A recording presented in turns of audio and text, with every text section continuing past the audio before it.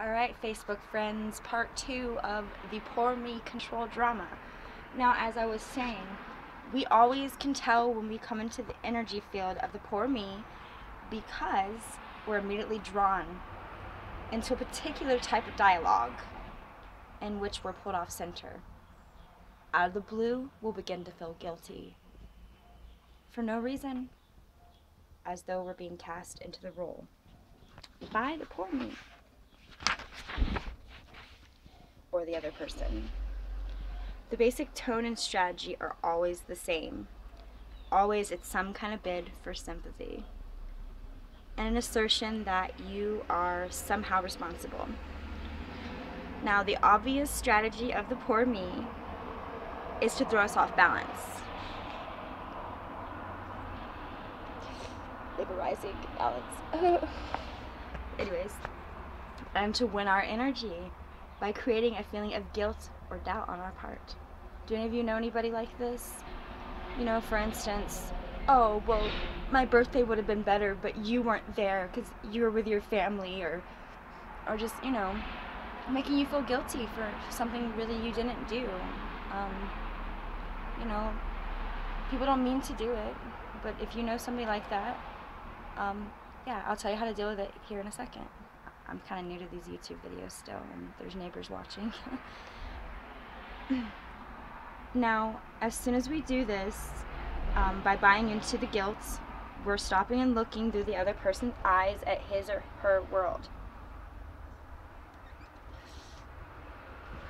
And as soon as that's done, this person gets the boost of our energy added to his or her own and makes them feel more secure.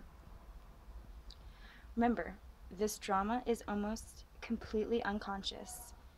It flows from a personal view of the world and a strategy for controlling others adopted in early childhood. To the poor me, the world is a place where people can't be counted on to meet one's needs for nurturing and well being. So basically, a lot of people that have endured um, childhood trauma, um, neglectful parents, stuff like that, people with PTSD, people with some mental issues, kind of tend to have this is the this is the like the least bad of all the control dramas. So I'm kind of blessed to have to only deal with this one most of the time from me. but anyways, um, so yeah, it's too scary a place of risk. Pursuing these needs directly or assertively is too scary. In the poor me's world, the only reasonable way of acting is to bid for sympathy through guilt, trips, and perceived slights. Unfortunately, because the effect of the world, these unconscious beliefs and intentions, very often, the same kind of abusive people the poor me fears are exactly the ones that they allow into their lives. That's a big one right there. A lot of people that are empaths seem to attract narcissists. I don't know if that really has any much to do with that, but yeah and the events that befall them are often traumatic. It's like a repetition, re repetition, repetitive of trauma, trauma, trauma, until you learn how to defeat this um, control drama.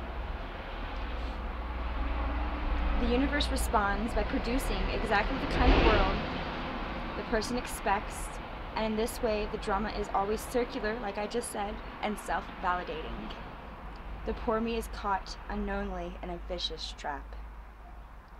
Okay, now we're going to do a part three, and that's going to be dealing with the poor me.